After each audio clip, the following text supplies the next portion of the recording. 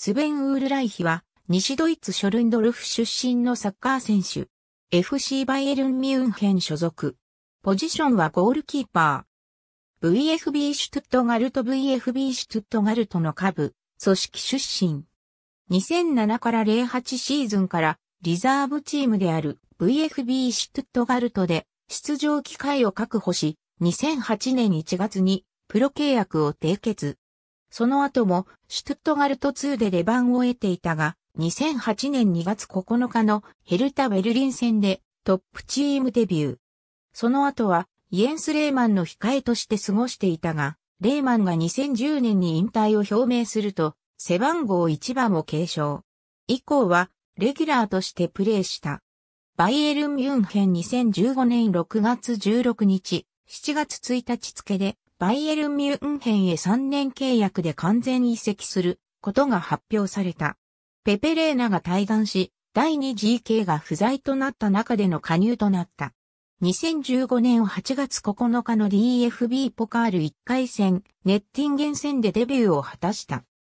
2017から18シーズン開幕直後に、聖 GK のマヌエル・ノイアーが、左足中足骨を骨折し長期離脱を強いられると、ゴールマウスを任され、2017年12月16日に行われたフルス、シュトットガルト戦では1の0で迎えた後半アディショナルタイムに献上した PK をセーブし、勝利に貢献。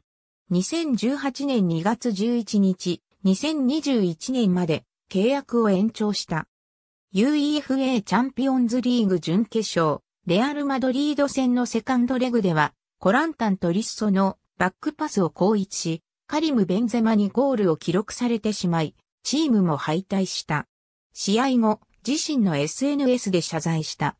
しかしリーグでは、安定感ある守備で、ゴールマウスを守り、そのまま優勝に貢献した。このことから最も安全な第二 GK とも呼ばれている。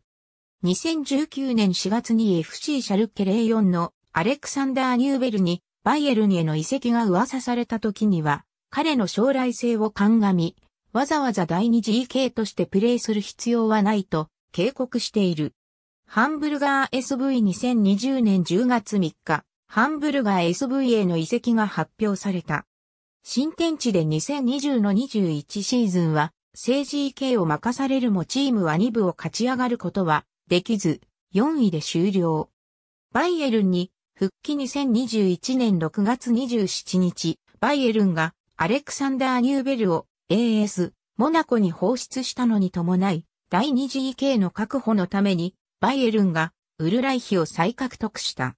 2009年には U-21 ドイツ代表に招集され、3試合に出場した。2019年6月1日、A 代表に初招集された。ありがとうございます。